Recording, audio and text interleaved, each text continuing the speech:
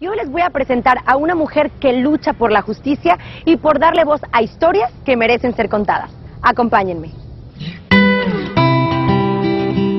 Jill Anderson es una mujer americana criada en Texas pero su espíritu de lucha y hambre de justicia la hacen involucrarse en los problemas que afectan su entorno. Pues yo crecí en Texas, este, soy de una familia americana, este, pero aprendí español empezando en la secundaria, de hecho, y siempre, pues me encantó la lengua, la cultura, y como adulta fui, fui a estudiar y trabajar en México. Yo soy una persona binacional, con una familia binacional, dos hijas mexicanas. Para Jill era evidente que había cambios en esta generación y el vivir en la Ciudad de México y darse cuenta que más de medio millón de jóvenes han sido deportados, la inspira acompañada de la fotógrafa Nin Solís a publicar el libro Los Otros Dreamers. Mi objetivo en, en hacer el libro realmente es para que escuchamos tanto allá en México que aquí en Estados Unidos, a esos jóvenes. Y la idea es que salen de las sombras, que no están invisibles y que realmente ellos mismos se reconocen como gente binacional, aún que están en México, aún después de la deportación. Y es que poco es lo que se habla de estos jóvenes y de su necesidad de ser apoyados al regresar a su propio país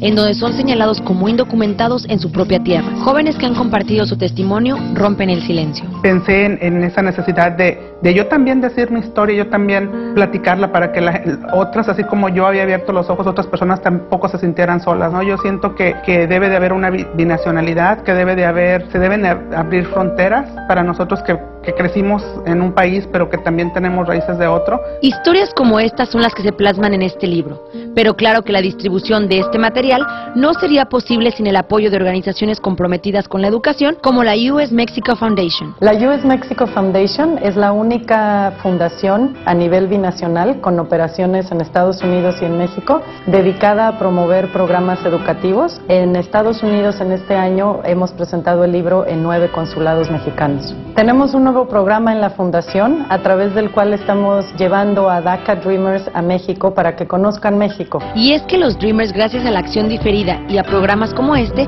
es que por primera vez han podido regresar y conocer el México que dejaron cuando eran niños. Cuando fui a México mi experiencia fue ah, increíble. Ah, se sintió como que era un sueño. En los primeros días me levantaba y decía, estoy en México. Al relacionarme con los otros Dreamers del libro también, primeramente era admiración.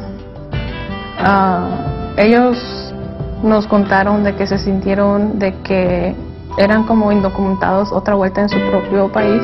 Por eso me quiero enfocar en los jóvenes, para ayudarles, para que entonces puedan seguir. Sin duda, ha sido un camino difícil para los llamados los otros Dreamers pero su espíritu de lucha y fortaleza, aliados a grandes líderes como Jill Anderson, son los que los mantienen juntos y hacia adelante. Es increíble verlos juntos por la primera vez, este, como ver a otra gente que habla en inglés y viven en México, que han sobrevivido y siguen luchando después de la deportación. Realmente cuando se conocen entre ellos sí les dan un poder, les dan un, camino, como em, empieza un camino de sanación. Como ven, son muchas las historias y los jóvenes que han sido deportados.